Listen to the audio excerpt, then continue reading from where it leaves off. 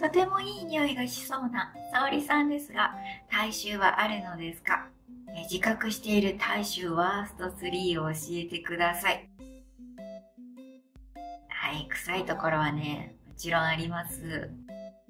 私のここはね、臭いです。えっと、第3位。第3位は、頭、頭皮。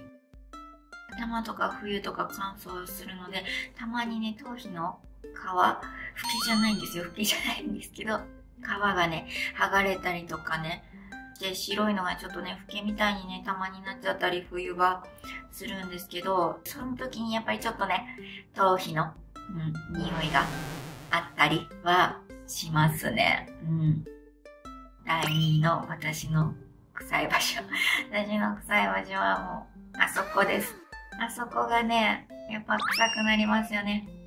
パンツの漏れた匂い、あの、どうしてもやっぱり織物、織物がね、多かったりとかするので、まあ、生理の時も臭いですし、織物、織物がついてて、まあでも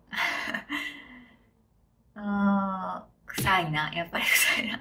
織物の匂いも臭いですし、あそこ自体もね、洗っても綺麗にもちろんちゃんと毎日洗うんですよ。洗うんですけど、やっぱりそういう時期、そういう時期とか、おしっこね、よくした時とかは、うん、臭いなって思います。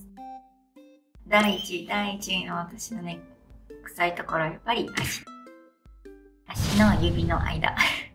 足の指の間ね、ここもどうしても洗っても、洗っても洗ってもやっぱり仕事とかで毎日過ごすと、やっぱり夜にはね、臭くなるんですよね。